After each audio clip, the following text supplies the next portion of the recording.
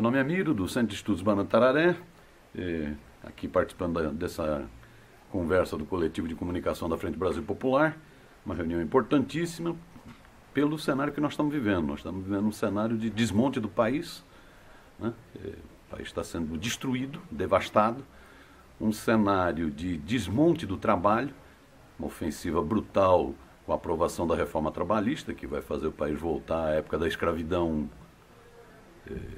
Exacerbada, explícita, o risco de uma reforma da Previdência que vai o aposentado só vai se aposentar no túmulo, num cenário onde você vê que a burguesia blocou para dar um golpe e que a burguesia está toda blocada para fazer essas reformas, pode até ter diferença com relação ao Temer, mas ela está unida como aço, coesa como aço, para nos atacar. Se nós ficarmos de, discutindo diferenças entre nós, nós já perdemos a batalha.